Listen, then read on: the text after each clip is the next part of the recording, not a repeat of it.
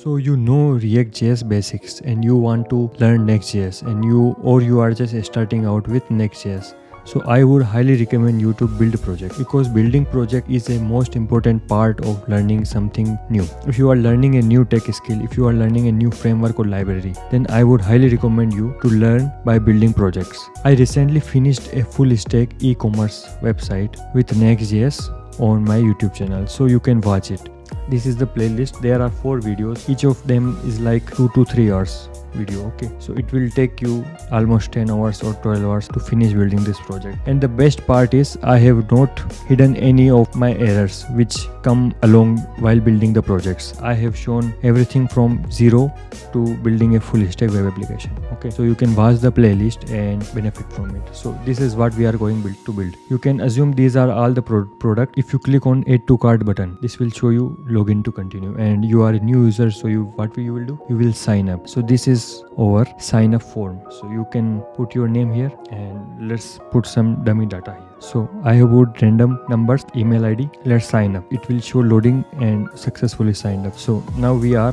successfully into the application. We are successful we have successfully signed up. Now we will if we click on the add to cart button then it will load and now our cart has one item. And we can see after clicking on it okay? And let's add some more items. Let's let's increase its quantity. Let's increase it its quantity and let's also all the products are shown here on this page.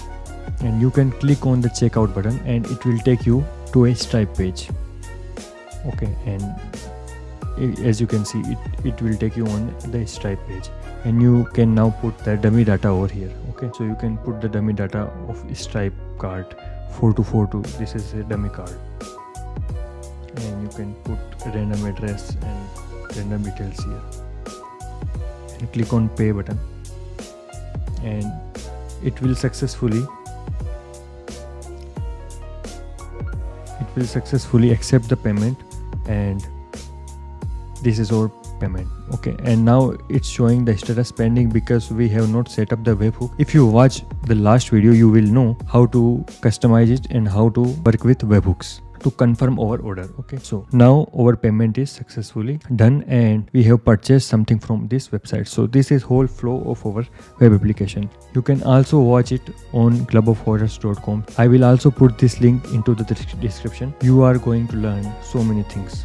You in this tutorial i have used supabase which is database or backend as a service. Supabase gives a Supabase client JS library which we can use to query our database, add rows into our database tables, remove data. So all of the database queries we can do from our client using this Supabase client library. We have used Tailwind CSS for our styling part and we have used Next.js to build this application. For server side, we have used server serverless functions inside Next.js application if you go into the API folder, these two functions we have created. First is checkout handler and then second one is webhook handler. These two functions we will need for the checkout functionality okay? And what are the other, other things we have used in this project? So we have used react hot toast we have used stripe next.js headless ui for our models which you have seen as a auth auth models. In this tutorial